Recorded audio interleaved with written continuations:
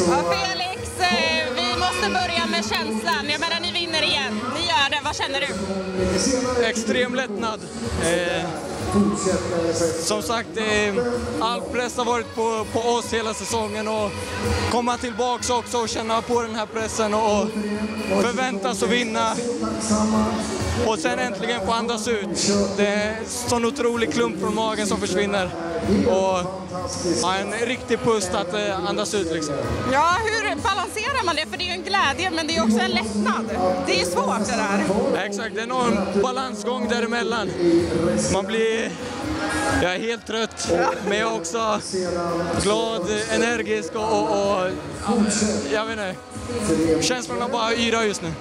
Du och jag stod ju här, du och och jag intervjuade dig inför första matchen för säsongen, det första som hände. Var det det här du såg framför dig då? Det var det man hoppades på. Sen vet man aldrig hur säsongen går med skador, med hur, hur laget, eh, hur det spelar ut sig. Men eh, det var det jag hoppades på och nu står vi här. Så det, det är otroligt fantastiskt. Och inte bara det, du står ju här som finalseriens MVP också. Vad säger du om det?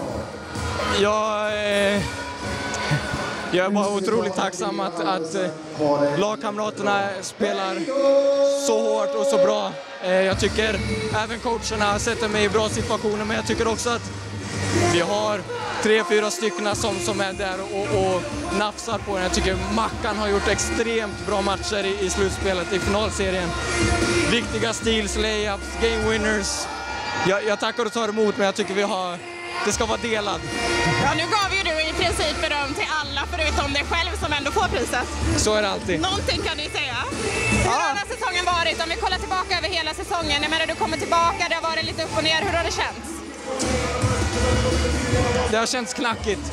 Jag har inte alls varit eh, fullt bekväm i, i hur, saker, hur, hur, jag har gjort saker och ting. Jag har varit lite ur form och mentalt lite borta med tanke på att jag hade ett tufft år i Holland och kom tillbaka och förväntas göra det här eh, och, och komma tillbaka och prestera på topp så som jag var innan jag lämnade. Och förväntningarna är höga, man är lite småskadad i början och man tappar sin rotation, tappar roller, alla i laget vet inte och sen är det svårt att, att bryta sig in och känna att man flyter med liksom neutralt men jag kan inte klaga, vi står här och, och, och ska dricka champagne ikväll.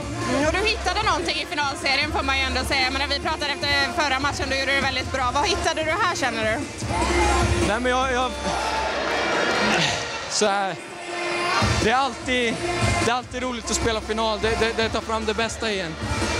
Sen, det, de svåraste matcherna är nästan de mitt i säsongen i en kall sporthall någonstans.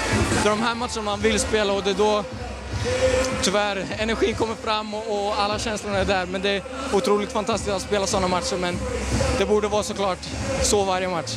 Hur firar ni det här då? Vi ska dansa i neon. Är du en schlagerkille? Ah, nej, aldrig. Nej, inte det ändå. Det är den enda jag kan. Vem tar tag i festen då? Tack så mycket. Vem är, ja.